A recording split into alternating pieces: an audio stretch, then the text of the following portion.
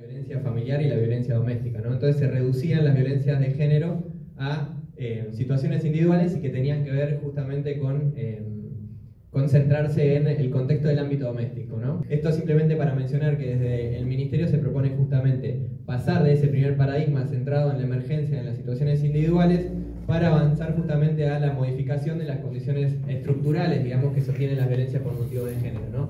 Es decir, se empiezan a pensar las violencias justamente como un problema público, como un problema político y como un problema cultural. El abordaje de las violencias contra integrantes de pueblos indígenas desde una mirada intercultural, interseccional, que nos parece como clave eh, en este marco como política pública. Primero la gente. Instituto Nacional de Asuntos Indígenas, Ministerio de Justicia y Derechos Humanos.